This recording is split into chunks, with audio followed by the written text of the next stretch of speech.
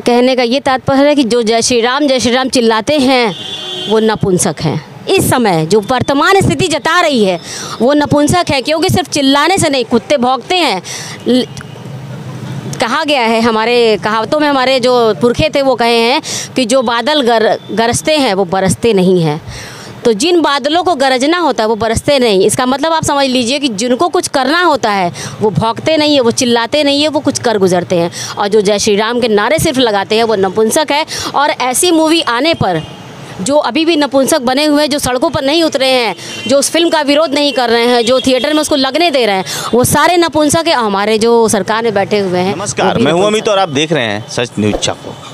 आपको बता दें आप लोगों को पता भी होगा इस समय हलचल चल रहा है सभी चैनलों पे। आदि पुरुष जो मूवी आई है रामायण से रिलेटेड इस मूवी पे आज हम चर्चा कर लेते हैं। हमारे साथ सोनी चक्रवाल जी हैं। तो हमारे चैनल में आपका बहुत बहुत स्वागत है। जी धन्यवाद। मैडम एक बात बताइए जो अभी आप लोगों को पता होगा आदि पुरुष जो मूवी आई हुई है जो रामायण से रिलेटेड है इस मूवी के बारे में आप क्या कहना चाहेंगे? हाँ मूवी तो आई है। अभी मैंने फेसबुक और सारे सोशल मीडिया पर इसका देखा भी कि बहुत भद्दे भद्दे कमेंट्स बहुत भद्दे भद्दे डायलॉग इसमें लिखे गए हैं, जो कि हमारे सनातन परंपरा के लिए सही नहीं है। और कहीं भी ये चीज़ें हमारे जो संस्कार में वो थी ही नहीं। हमारे राम रामायण में, महाभारत में ऐसी कोई चीज़ें थी ही नहीं। तो ये चीज़ें आ कहाँ से रही रही हैं, कौन ला रहा है, ये हमें समझ में नहीं आ रहा है। और चूँकि हिंदुत्व की सरकार है, बीजेपी योगी जी बैठे हैं, माननीय मुख्यमंत्री जी हमारे, उत्तर प्रदेश के मुख्यमंत्री हैं, और हिंदुत्व की सरकार है।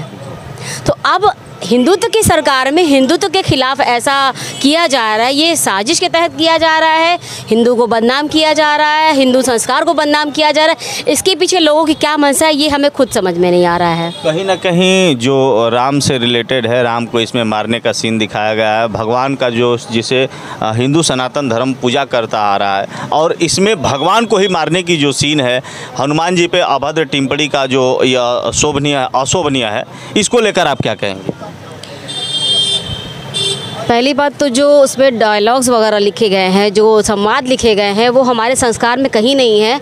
और ये बना कौन रहा है और लिख कौन रहा है? पहली बात तो ये कि क्या हमारे जो हिंदू संगठन है, विश्व हिंदू परिषद है, हिंदू युवा वाहिनी है, हिंदू युवा वाहिनी के अम्बरीश सिंह भोला, मैंने सुना है कि वो हिंदुत्व के प्रति बहुत जागरूक रहते हैं, हिंदू संस्कारों के प्रति।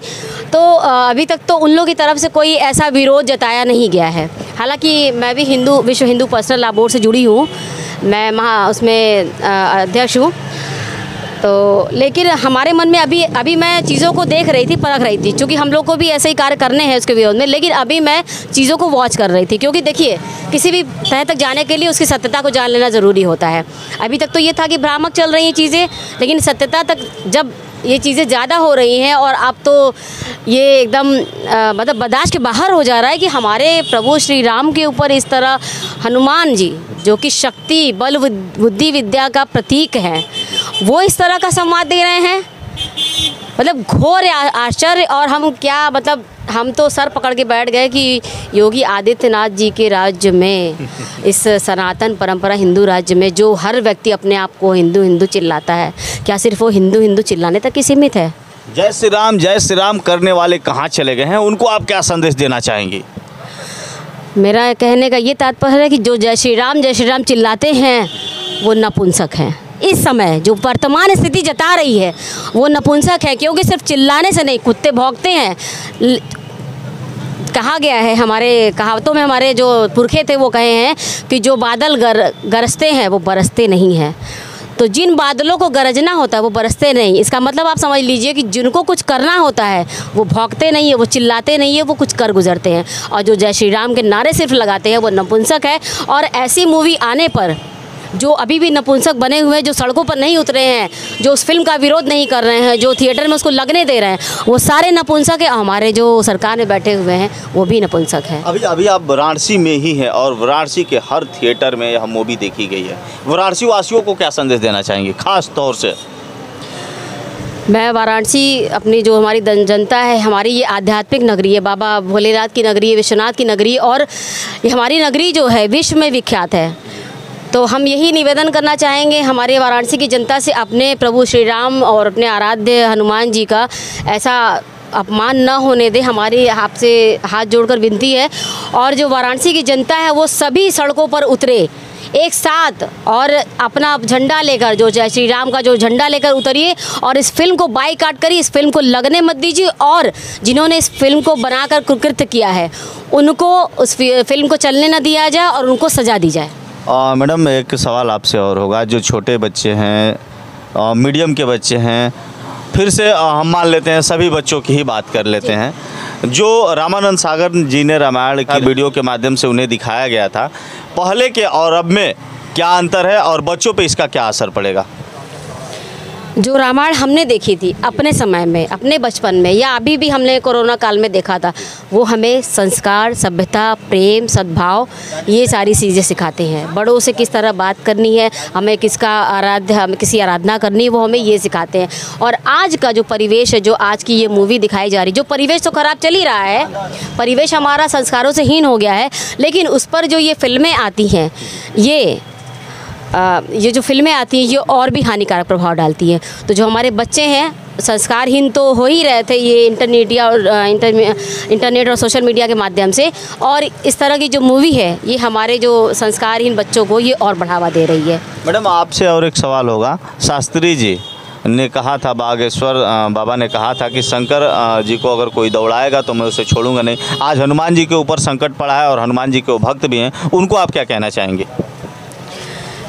एक आप बागेश्वर बाबा की ही बात ना करें, जो हमारे जो सारे संत हैं जो जो नागा साधु हैं जो नुपुर शर्मा के एक बात कहने पर जो उठ खड़े हुए थे वो आज कहाँ चले गए हैं? जो हमारे जो संत माने जाते हैं वो असंख्य संत कहाँ हैं? नागा नागा साधु कहाँ हैं? जो स, जो सनातन प्रेमी साधु हैं जिन्होंने तपस्या की और इस देश में अपने आप को संत कहलाने लगे। बड़े बड़े पीठाधीश कहाँ हैं? जो मंदिर मठ में बैठे हैं वो लोग कहाँ हैं? वो सड़कों पर क्यों नहीं उतर रहे हैं? मेरा यही सवाल है आज कि ये क्यों नहीं उतर रहे हैं?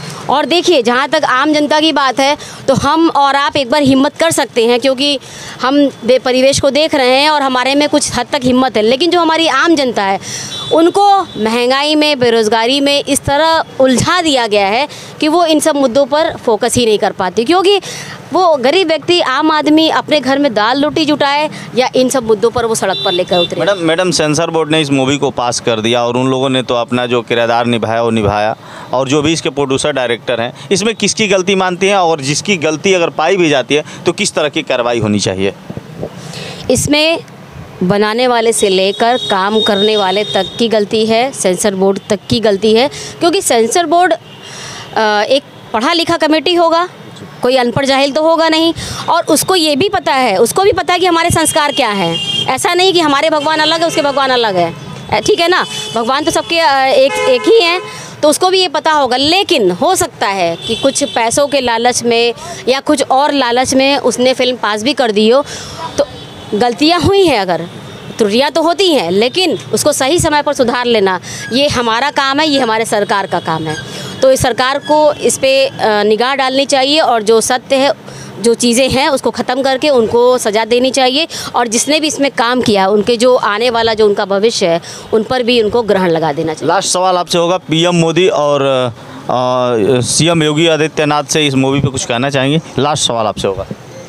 जी, मैं बिल्कुल कहना चाहूँगी आपके चैनल के माध्यम से कि हमारे जो माननीय प्रधानमंत्री जी, हमारे जो माननीय योगी आदित्यनाथ आदित्यनाथ जी मुख्यमंत्री हैं हमारे उत्तर प्रदेश के, इससे हमको हमारे जो सनातन परंपरा है, हमारे जो आराध्य है, हमारे जो भोले बाबा, हमारे जो जय श्री राम है, हमारे जो- हनुमान जी हो, हमें गहरा आघात पहुँचा है। इस फ़िल्म से हमें बहुत गहरा आघात लगा है और हम बहुत तकलीफ़ में है कि हमारे आराध्य का इस तरह मज़ाक उड़ाया जा रहा है। चलिए मिलता हूँ नेक्स्ट वीडियो में और आपने सुना, अगर मैडम की बात कैसी लगी हो, यदि आप इनके बात विचारों से संतुष्ट हो तो कमेंट बॉक्स में अपनी राय ज़रूर दीजिएगा कि यह मूवी बंद होना चाहिए कि नहीं बंद होना चाहिए। और जिन लोगों ने भी इस मूवी को बढ़ावा दिया, और जिन लोग, जिन जिन्होंने भी इस मूवी को पास किया है, उनके ऊपर भी कार्रवाई होनी चाहिए कि नहीं होनी चाहिए। कमेंट बॉक्स में अपनी राय ज़रूर दीजिएगा। लेता हूँ विराम, मिलूँगा नेक्स्ट वीडियो में फ़िलहाल इतना ही। धन्यवाद।